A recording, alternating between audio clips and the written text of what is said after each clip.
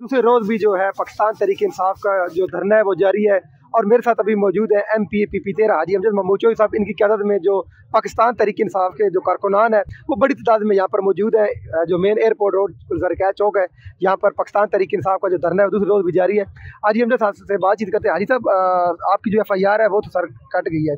तो फिर ये धरना आपका ख़त्म क्यों नहीं हो रहा, जारी क्यों है? बिस्मिल्लाह रहमान रहीम देखें एफ़ आई आर कट गई है, रात को मैंने भी टी वी में सुना वो एक रद्दी का टुकड़ा ही है। मैं हमारी तरफ़ से पीटीआई की, जो खान साहब ने दरख्वास्त दी है, जो मदई होता है दरख्वास्त उस मदई की की तरफ़ से एफ़ आई काटी जाती है। जिन बंदों के नाम लिखे गए हैं, तीन बंदों के उनकी एफ़ आई आर उनके नाम हुए नहीं है। ये तो पुलिस की जो एस एच ओ है, या सब इंस्पेक्टर है, उसके मदईत में एफ़ आई आर काटी गई और सुप्रीम कोर्ट के हुक्म में। वैसे एफ़ आई आर उन्होंने नहीं काटी। कि तो सुप्रीम कोर्ट ने कहा कि एफ़ आई आर आज पेश करनी थी। और वो एफ़ आई आर हमारी एफ़ आई आर तो नहीं हुई। तो अभी आपको मुतालबा क्या है और ये एहतजाज कब तक जारी रहेगा? मुतालबा यही है हम इसीलिए बैठे हुए हैं जब तक जो खान साहब ने दरख्वास्त दी है इतने बंदे हमारे जख्मी हुए एक बंदा हमारा शहीद हो गया जो मुद्दई दरख्वास्त दे रहा है। खान साहब ने जो दरख्वास्त दी हमारी एफ़ आई आर नहीं काटी जाती जिनका नाम है तो उस वक्त तक हम बैठे रहेंगे। सर पंजाब में तो आपकी अपनी हुकूमत है तो फिर इतनी रुकावटें क्यों आ रही हैं? देखें तीसरी कुत है। देखिए, इसीलिए आज़ादी मार्च के लिए हम निकले हुए हैं। कोई तीसरी कुत है ना, जो एफ़ आई आर नहीं होने देती, एक हमारा कानूनी राइट है। एफ़ आई आर कोई भी बंदा दे तो एस एच ओ को उसके जो मदई दरख्वास्त देता है, उस पर एफ़ आई आर काटनी चाहिए। उसके बाद जे टी बनती है या इंक्वायरी होती है, उसमें जो मुलजम है, नहीं है, जो खुनागार है, वो ज़िमनियाँ लिखी जाती हैं। हमारा राइट बनता है। हम तो बैठे रहेंगे जी।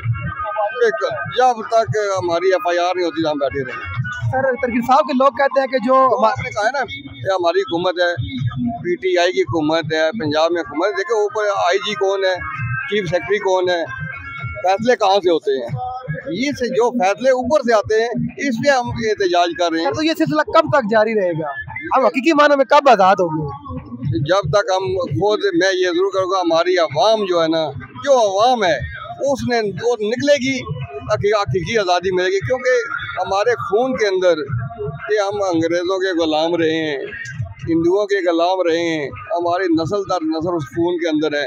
जब तक हम हर गली मोहल्ले से आवाम नहीं निकलेगी उस तक आज़ादी ये हमें आज़ादी नहीं मिलेगी। हकीकी आज़ादी नहीं मिलेगी। हमारे चेयरमैन साहब क्यों कहते हैं एक ही बंदा है पाकिस्तान के अंदर जिसका नाम है इमरान खान। वो इस मुल्क के लिए, इस अवाम के लिए खड़ा हुआ है, अपने पे गोलियाँ खाई हैं। इस हकीकी आज़ादी की खातर। यार, आज ना निकले ना, फिर इसमें, इस मुल्क में रहने की ज़रूरत ही नहीं है। मैं कहता हूँ, जो बड़े हैं, हमारे जो ऊपर बड़े हैं फैसला करने वाले, खुदा का वास्ता है, खुदा का वास्ता बैठ कर इस मुल्क के लिए कोई बेहतरी का कोई फैसला निकालें। एक ही मुतालबा है पी टी आई का। वो क्या है? आवाम के पास जाए। आवाम से कहना वोटें करवाएँ इलेक्शन हो, जिसको हम चुने, वो आए इकतदार में आए। एक ही मुतालबा है।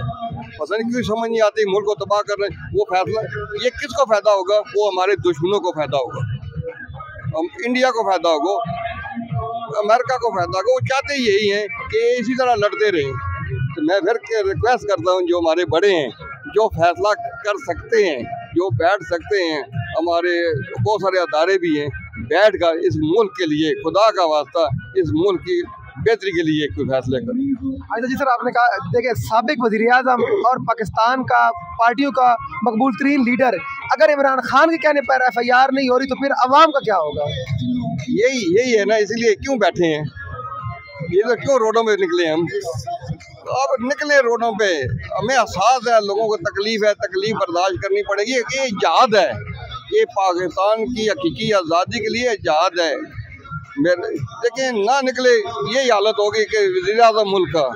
एक हुकूमत पंजाब की हुकूमत हमारी एफ़ आई आर नहीं हो रही सामने दहशत गर्दी हुई है। सामने कातलाना हमला हुआ है जो बंदा पकड़ा गया है वो भी कहता है कि मैंने इमरान खान को मारना था। उसको किसी ने कहा ही है ना?